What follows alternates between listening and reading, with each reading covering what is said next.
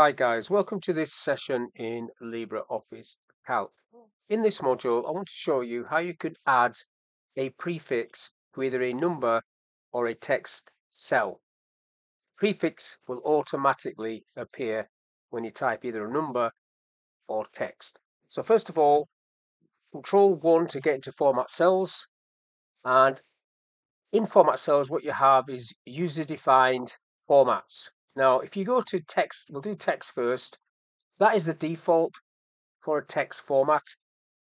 You need the at sign. So if I go to user defined, and let's say I want a suffix, I would go at space, and then I'll just put the UK in quotes like that. Now I've already done it for one cell here. Let's click OK to that. So if I type Steve puts UK at the end of it. If I wanted to do that for the whole column, draw one to get into format cells, UK, okay, and then if I type Steve again, anywhere in that column is now going to have that format. Now numbers, if I highlight the whole column, column C, control 1, so number, the general one, if I click on the first number so you can see one, is just a zero.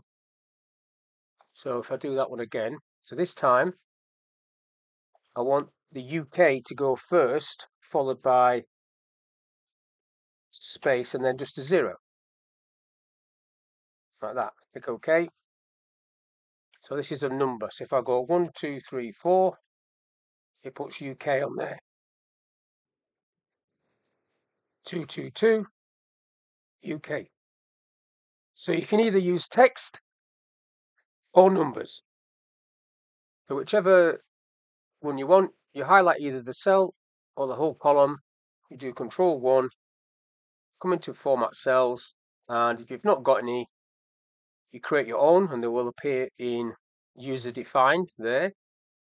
Now you've got a number one and you've got one with text. So there's your text option. You just click on these things and see what the actual default is and then you can adjust it. Same with dates.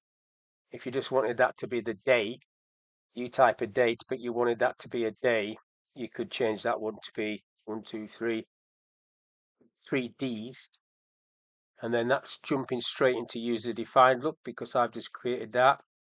4Ds there I've got 3Ds click OK to that. So if I put today's date in there so I just did control semicolon which I'll do in the next cell across control and semicolon which is today's date but I did it in this cell control semicolon. It's just putting Monday in there because of that format now if I go back into that and change it slightly, so I'll go user defined and instead of three Ds, just three Ds, I'll do a forward slash and do two M's. See what happens when I do that one. So now it's doing the month as well. And that's how you can change the formats of any of those in that list in, con in um, control one format cells.